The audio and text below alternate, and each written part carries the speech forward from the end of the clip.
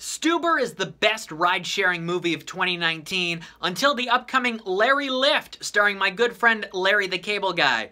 Of course I'm making that up, but that film would be a million times funnier than this car crash of a comedy.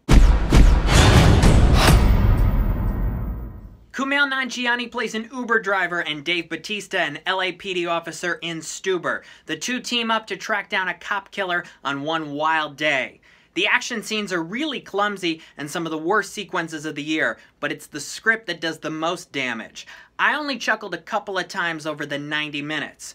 Bautista doesn't feel right for his role, and Nanjiani is completely wasted here. With so many options following his Oscar-nominated The Big Sick, you have to wonder why he chose this project.